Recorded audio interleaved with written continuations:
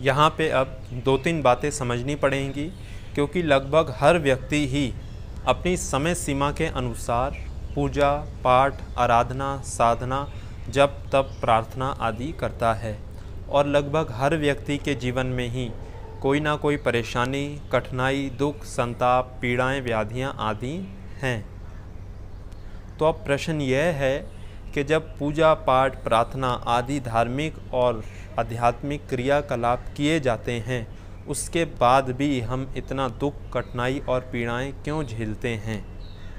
तो सबसे पहली बात, जब तक सुख की इच्छा करेंगे, तब तक सुख की प्राप्ति नहीं हो सकती। क्योंकि यदि पूजा पाठ, प्रार्थना आदि अभ्यास करते समय आपके मन में कुछ पाने की इच्छा है तो उस समय आपका सारा ध्यान इसी चीज़ में है कि हम इस चीज़ के लिए पूजा पाठ कर रहे हैं। वहाँ पे नियम लागू हो गया है कि पूजा पाठ इसलिए किया जा रहा है क्योंकि हमें इस चीज़ को पाना है। और जब ये चीज़ मिल जाएगी तो अक्सर लोगों को चीज़ मिल जाने के बाद वो पूजा पाठ आदि सब चीज़ें छोड़ देते हैं क्योंकि उन्होंने एक दायरे में बाँध दिया था। और जब तक कुछ पाने की इच्छा है, तब तक आपका सारा ध्यान उस इच्छा में ही लगा हुआ है, जो कि आपके साधना में, पूजा पाठ, प्रार्थना आदि में लगा होना चाहिए था। दूसरी बात, पूजा पाठ, प्रार्थना का अर्थ ये नहीं है कि आप केवल एक ग्रंथ को रोज़ पढ़ते रहें, किसी चालीसा को, आरती को, चौपाई को, ग्रंथ को, श्लोकों को, इनको रोज़ दोहराते रहें या रोज़ माला फेरते रहें। इनसे कुछ भी होने वाला नहीं है।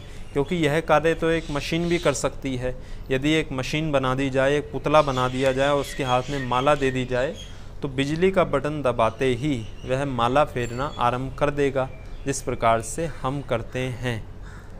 क्योंकि भक्ति के साथ कर्म करना बहुत ज़रूरी है, भक्ति अधूरी है बिना कर्म के। तो भक्ति के साथ कर्म करना भी बहुत ज़रूरी है। केवल पूजा पाठ, भक्ति या भक्ति योग का केवल ये अर्थ नहीं है कि रोज़ आप एक ग्रंथ को पकड़ के बैठ जाएँ और उसी को दोहराते रहें। भक्ति का अर्थ ये है कि जो भी आप पूजा पाठ, साधना, क्रियाएँ, भक्ति, प्रार्थना, समर्पण कर रहे हैं, उससे जो आपको शिक्षा प्राप्त हो रही है, जो ग्रंथों में शिक्षा दी गई है, मार्गदर्शन दिया गया है, उसको समझें और उसको अपने जीवन में उसका पालन करें।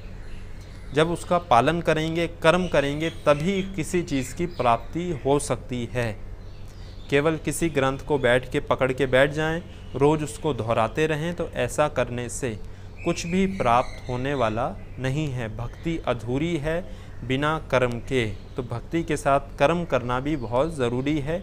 जो भी धार्मिक ग्रंथों में आध्यात्मिक ग्रंथों में मार्गदर्शन दिया जाता है उसके ऊपर चलने के बाद ही कुछ प्राप्त हो सकता है। कुछ विशेष कारणों के चलते इस चैनल का नाम और लोगो हमें बदलना पड़ा है और इसके स्थान पर एक नया चैनल बनाना पड़ा है। उस चैनल का लिंक डिस्क्रिप्शन बॉक्स में दिया गया है। वहाँ से चैनल का लिंक प्राप्त करके आप नए चैनल के साथ जुड़ जाएँ, जिससे शाम को पौने आठ बजे ठीक सात बज के पैंतालीस मिनट पर आपको योग, आयुर्वेद, स्वास्थ्य, धर्म, सनातन संस्कृति आदि से संबंधित नया वीडियो प्राप्त हो सके, उस चैनल पे योग योग अभ्यास के छोटे छोटे अभ्यासों पे पूरे विस्तार से हम चर्चा कर रहे हैं।